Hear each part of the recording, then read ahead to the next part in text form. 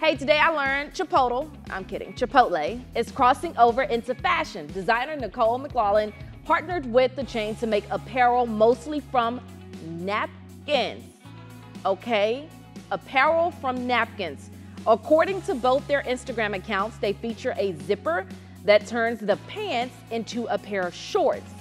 Chipotle and McLaughlin say uh, while they're made from napkins, it's not a good idea to wipe your hands on them. That was not what I was thinking about. Napkin pants with, I got a lot I can say about that, but y'all wear y'all napkin pants. I'm gonna go ahead and try to get to this weather this morning, Greg. Yeah, they probably won't hold up too well in the rain, I'm thinking either. I wasn't even thinking that, but go on transition to weather with that one. I will, because I, I don't know what you're thinking. I don't think I want to know, actually.